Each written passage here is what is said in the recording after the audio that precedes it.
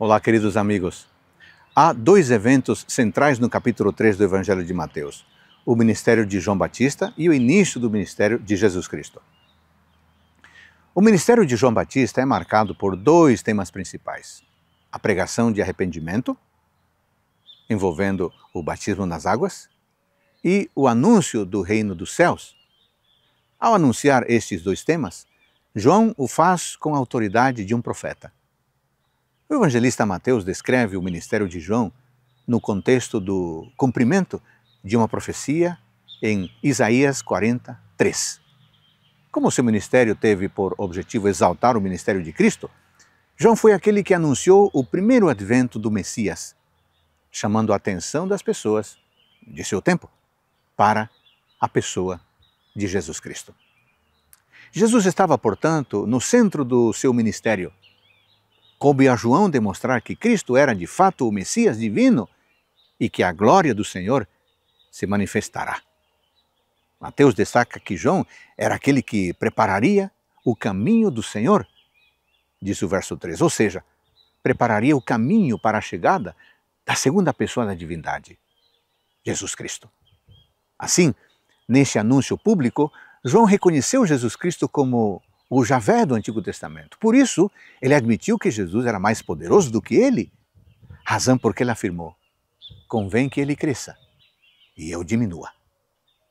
Esta era, portanto, a principal função do seu ofício como profeta: anunciar a chegada do Cristo profetizado nas Escrituras e preparar o caminho para o Messias prometido por tanto tempo, dizendo para seus ouvintes que ele havia chegado e com ele chegara o reino de Deus. Outro aspecto do seu ministério consistiu em endireitar as veredas dos corações das pessoas, advertindo-as. Em todo o seu ministério, João apontava para Cristo. Todas as suas ações eram fundamentadas no desejo de glorificar a Deus e exaltar aquele que viria após ele, para magnificar aquele que batizaria com o Espírito os que se arrependeriam e com fogo aqueles que não produziam frutos de arrependimento. Quando as notícias sobre a pregação de João chegaram até Nazaré, Jesus reconheceu seu chamado para o ministério público diante da proclamação da mensagem do seu primo. E então, dirigiu-se ao profeta para ser batizado por ele.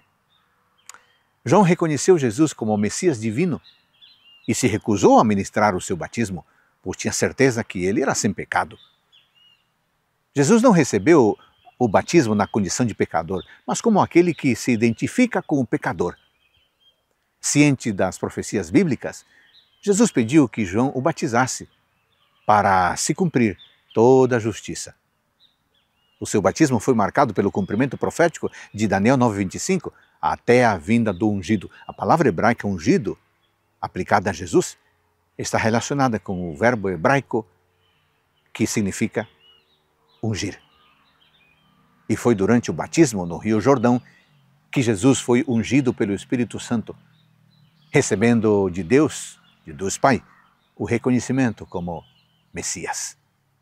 Jesus iniciou seu ministério público durante seu batismo no ano 27 depois de Cristo, ou segundo a profecia de Daniel, 483 anos após o decreto emitido em 457 a.C., no contexto das 70 semanas proféticas.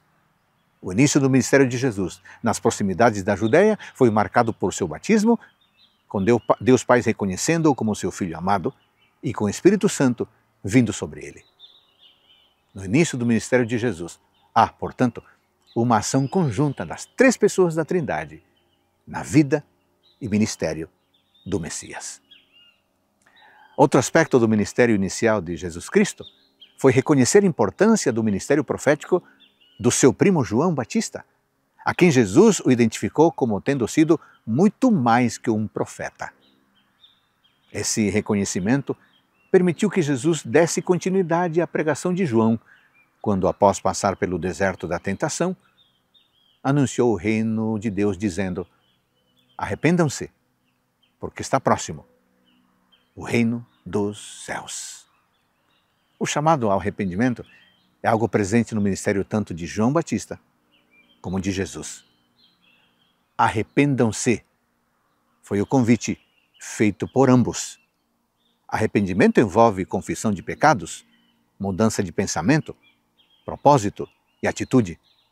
O Espírito Santo é o responsável por conduzir esse processo de transformação interior, como havia testemunhado tanto o profeta batizador como o próprio Messias. E você? Tem permitido que o Espírito Santo transforme seu coração a cada dia? Pense nisso com carinho.